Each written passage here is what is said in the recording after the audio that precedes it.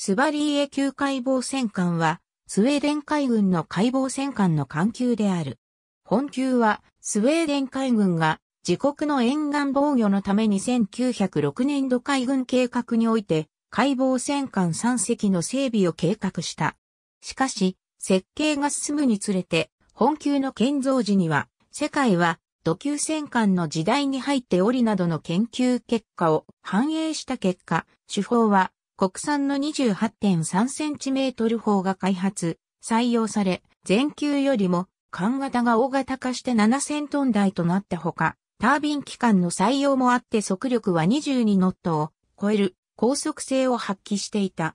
このために当初の予算よりもコストがかかり、予算が下りず、一番艦の建造予算の一部には国民からの拠金もあったが1911年になってようやく建造が始まった。2番3番艦は政府の資金で建造された。しかし、建造途中で第一次世界大戦が勃発し、建造資材の不足で建造が伸び、収益は同大戦後となった。本級は1920年代と1930年代の2度に渡って近代化改装を行い、土級戦艦と見間違えるような外見に変貌した。両艦、ドロットニング・ビクトリア砲を連装砲塔に収めて一機を配置し、その後部から上部構造物が始まり、甲板一段分上がって、副砲のボホース1912年型 15.2cm 速射砲を連装砲塔に収めて一機を配置していた。環境構造は司令塔を下部に組み込んだ箱型とし、後部に短脚式の全部マストが立つ。船体中央部に日本煙突が立ち、その周囲は関西艇置き場となっており、2本1組のボートダビットが片弦2組ずつ計4組と後部マストの後部短脚章の基部に一機ついたジブクレーンにより運用された。後部見張りところで上部構造物は終了し、一段下がった後部甲板上に 28.3cm 連装砲が後ろ向きに一機配置された。原則甲板上には 15.2cm 砲が単装砲塔に収められ、片弦3機ずつ、計6機が配置された。この武装配置により、監視方向に最大で 28.3cm 砲2門 15.2cm 砲4門が施行でき、原則方向に最大で 28.3cm 砲4門 15.2cm 砲5門が施行できた。各艦の船体サイズの相違は以下の通り。前述の1920年代の近代化改装で、短脚式の前穂柱は、頂上部に4つの信号ヤードのついた、射撃包囲板室を持つ、多層構造の三脚章に改装され、ミズンは撤去され、代わりに2番煙突の上部の左右に信号ヤードが設置された。また、船体の各所に対空火器が増設された。1930年代の近代化改装で機関の乾燥が行われ、一番に目を引くのは煙突の形状で、スバリエは一番煙突を途中で後方に折り曲げて二番煙突に強く接近させた形状となった。グスタフ5世は2本の煙突の上部をそれぞれ結合させた複雑な形状となった。ドロットニング・ビクトリアは改装前と同様に2本煙突のままである。このため、他国海軍からは、煙突の形状を見れば、艦名識別は一目瞭然となってしまった。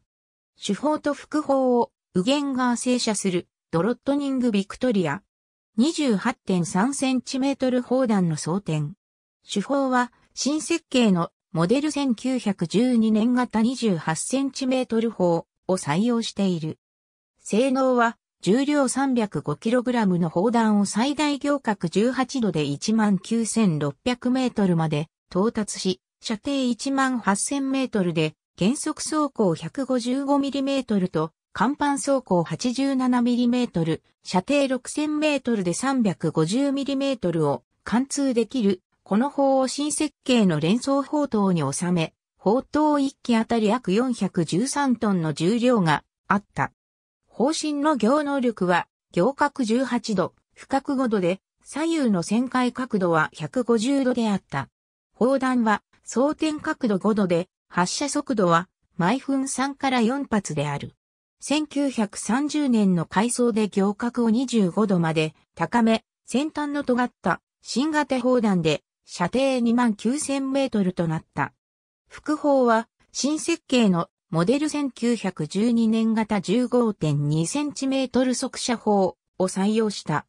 その性能は重量 46kg の砲弾を最大行角30度で13,716メートルまで届かせることができた。不要能力は行角30度、深く5度で旋回角度は120度の旋回角度を持っていた。発射速度は毎分3から4発である。他に耐水雷艇用にボホース1912年型 7.5cm 速射砲を単装砲画で4機、ボホース1916年型 5.7cm カノン、対艦攻撃用に 45cm 魚雷発射管を水戦下に片弦1機ずつ単装で2機を装備した。スバリーエ、ドロットニング、ビクトリア、グスタフ5世邪神は、ドロットニング・ビクトリアの機関室。機関配置は、機関区全部に、ボイラー室、後部に、機関室を配置するオーソドックスな様式であった。ボイラー6機あたり煙突は1本で2本煙突となった。ボイラー形式は3隻とも同じで、ヤーロー式石炭、重油混焼水管管12機だが、推進機関は1番管と2番管以降で異なり、スバリエはウエスチングハウス式直結タービンを低速型と高速型を一組とする2組4軸推進であった。一方、ドロットニングビクトリアとグスタフ5世はモータラ式ギアードタービンを2機に軸推進となっていた。燃料は石炭776トンと重油100トンである。収益後の1930年後半に3隻は、機関の更新が行われた。スバリエは、ペノエ式重油船小水管管4機で、最大出力は25,400馬力。ドロットニング、ビクトリア、グスタフ5世は、ヤーロー式6機とペノエ式2機の混載となり、出力は23,900馬力と異なった。この時に石炭が廃止されたために、燃料タンクは重油のみとなり、搭載量は273トンに増加された。1923年時の武装、装甲の配置を示した図解体途中のドロットニングビクトリア。主砲塔の装甲の厚みがよくわかる写真。本級の装甲様式は前級に引き続き全体防御であったが、関係の大型化により防御重量は排水量の約26%にも達した。装甲はニッケル構成でチーク材の上からボルトで止められた。しかし、水雷防御用の水戦下の装甲はなく、太陽防御として船体は水密隔壁により13のブロックに分けられていた。原則防御は高さ2メートルの水戦部装甲が最も厚い部分で 203mm から末端部は 152mm へとテーパーした。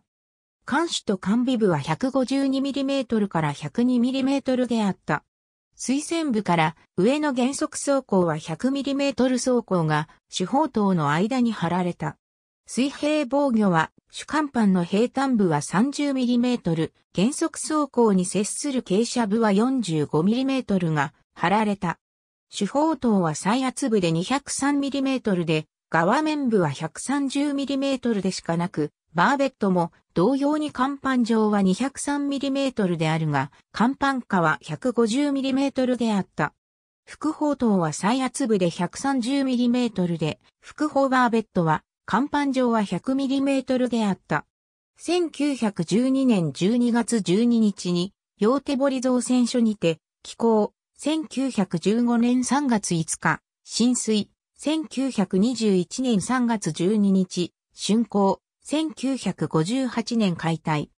1915年7月に、陽手堀造船所にて、寄港、1917年浸水、1921年12月3日、竣工、1958年解体。1914年12月に、丸目造船所にて、寄港、1918年1月31日、浸水、1922年12月12日竣工、1970年解体。ありがとうございます。